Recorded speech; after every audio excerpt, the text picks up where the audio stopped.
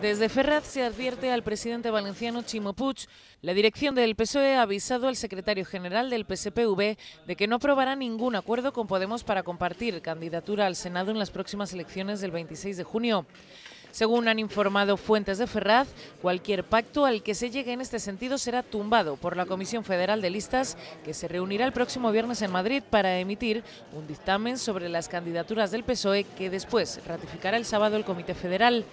Por eso aseguran no podrá prosperar ningún acuerdo como el que buscaban los socialistas valencianos. La Ejecutiva Nacional del PSPV proponía este martes negociar con Compromís y Podemos un acuerdo a la valenciana para el Senado, con el objetivo de defender la viabilidad de su autogobierno y el futuro de la comunidad valenciana.